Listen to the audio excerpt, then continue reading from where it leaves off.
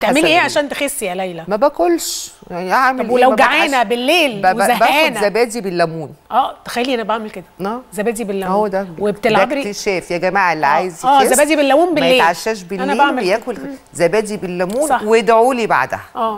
و- وبتوزني نفسك كل يوم؟ لا. لا لا لا بجد؟